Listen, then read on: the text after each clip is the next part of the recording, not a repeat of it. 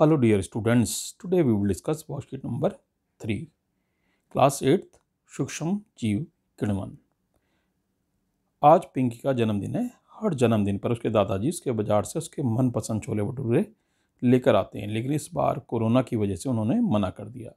उसकी मम्मी ने पिंकी को सरप्राइज़ देने के लिए छोले भटूरे घर पर बनाने की योजना बनाई। भटूरे बनाने के लिए उन्होंने थोड़ा सा मैदा लिया। उसमें थोड़ी सी चीनी गर्म पानी और दो चुटकी यीस्ट पाउडर मिलाकर उसे नरम आटे में गूंदकर बर्तन में दो घंटे के लिए रख दिया। कुछ घंटों के बाद पिंकी ने देखा वह आटा फूल गया, जिससे मम्मी ने भटूरे बनाए। पिंकी बहुत खुश थी क्योंकि अब उसको उसकी मनपसंद खाने की चीज़ें मिल गई। यहाँ पर आटा इसलिए फूल गया क्योंकि उस आटे में मौजूद यीस्ट जो कि एक सूक्ष्म जीवी है, ने तेज़ी से जनन कर श्वसन के दौरान कार्बन डाइऑक्साइड गैस छोड़ी और गैस के बुलबुलों ने आटे में फंसकर उसे फुला दिया। यानी यीस्ट की वजह से कार्बन डाइऑक्साइड गैस रिलीज़ हुई और भटूरे गैस की वजह से फूल गए। उसकी मम्मी ने बताया कि इसी तरह से ब्रेड केक और पेस्ट्री भी नरम होकर स्पंजी बनाए जाते हैं। आपने ब्रेड में देखेंगे छोटे छोटे छेद होते हैं, वो गैस की वजह से होते हैं। इस प्रक्रिया का इस्तेमाल सरकरा से एल्कोहल एसिटिक एसिड बनाने के लिए भी किया जाता है। चीनी के एल्कोहल में परिवर्तन की प्रक्रिया कणवन या फर्मेंटेशन कहलाता है। इस प्रक्रिया की सबसे पहले खोज लुई पास्चर ने अठारह सौ सत्तावन में की थी। स्वयं को जांचिए, कुछ प्रश्नों को देख लेते हैं। आपको खुद करने हैं प्रश्न, ऊपर से देखकर मैं आपको सिर्फ़ समझा देता हूँ। किण्वन प्रक्रिया की परिभाषा लिखिए। इस पदार्थ, इस प्रक्रिया की खोज किसने की थी? तो आप इसको यहाँ से यहाँ तक लिख सकते हैं। चीनी चीनी यानी शर्करा के अल्कोहल में परिवर्तन की प्रक्रिया किण्वन या फर्मेंटेशन कहलाता था। इस प्रक्रिया की खोज सबसे पहले लुई पास्चर ने अठारह सौ सत्तावन में की तो क्वेश्चन नंबर वन हो गए। इसका आंसर किण्वन प्रक्रिया द्वारा प्राप्त किन्हीं पाँच खाद्य पदार्थों के नाम लिखिए। तो आप इसमें से लिख सकते हैं, देखो एल्कोहल और एसिटिक एसिड ये इसके प्रोडक्ट हैं।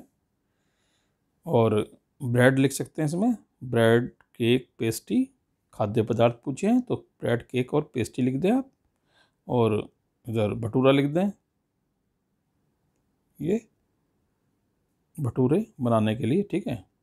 कहाँ हैं? मम्मी ने भटूरे बनाए तो भटूरे लिख दें आप ये इसको। अगर आप और इसके अलावा आप इडली लिख सकते हैं, डोसा लिख सकते हैं, ठीक है?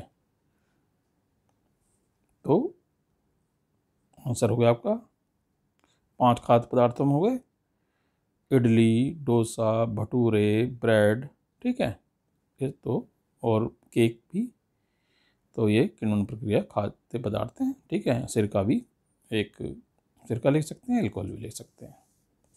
कौन सा सूक्ष्म जीव किण्वन प्रक्रिया में सहायक है? तो इसका आंसर है यीस्ट।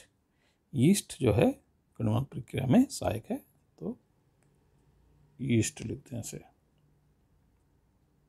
ठीक है?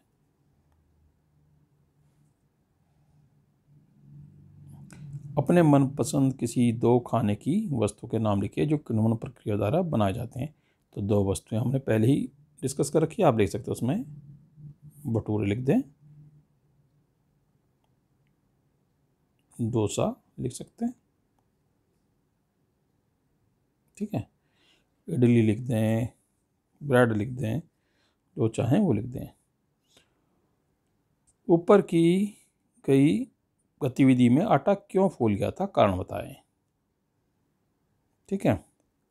तो यहाँ पर आटा, यस, खाली लिखें आटा इसलिए फूल गया क्योंकि उस आटे में मौजूद यीस्ट, जो कि एक सूक्ष्म जीवी है, ने तेज़ी से जनन कर श्वसन के दौरान कार्बन डाइऑक्साइड गैस छोड़ी और गैस के बुलबुलों ने आटे में फंसकर उसे फुला दिया। ठीक है? तो आप यहाँ तक लिख दें इसको। ठीक है?